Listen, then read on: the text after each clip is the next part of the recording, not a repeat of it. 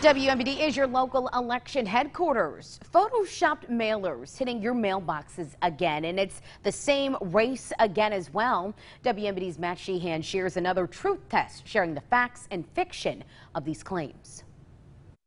The organization calling itself Citizens to Change Illinois found a photo on Shutterstock.com to send out mailers attacking Mark Luft's opponent, Travis Weaver, in the 93rd State Representative District. The face you can see on the man dining is Travis Weaver, but his face is photoshopped into the picture. I found the original stock photo very easily just by typing in young man having dinner at restaurant on the Shutterstock.com website.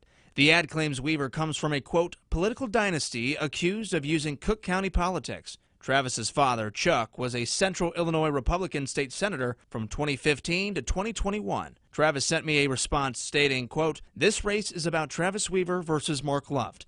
I am proud of my father. He is the highest character man I know. Later saying, I encourage Mark to focus on the issues in our race. End quote. Later on, the mailer claims Travis Weaver left Chicago to run for politics in Peoria. Travis left his remote Caterpillar job three years ago to come home to Peoria, where he was born and raised, before deciding to run for office. Weaver filed petitions to run for office back in early March.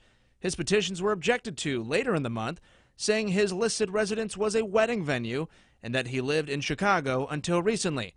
The Board of Elections eventually ruled that wasn't the case, siding with Weaver 8 to 0. Also, the mailer reads Weaver was, quote, caught in a lie over Bitcoin. I reached out to Weaver about this claim where he tells me, quote, five years ago I tweeted a prank to my friends that I had Bitcoin, and the next day I made it clear that it was a joke.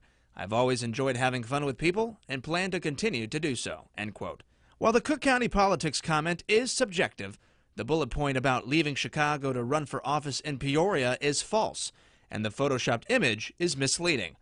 I did reach out to Representative Mark Luft about these photoshopped mailers. He says his campaign did not send out this mailer. Any ad by Luft would say, paid for by people for Mark Luft. So to be clear, while this mailer did not come from the Luft campaign, it did come from the organization Citizens to Change Illinois, whose chairman, Dave Kron, is the treasurer for the Luft campaign.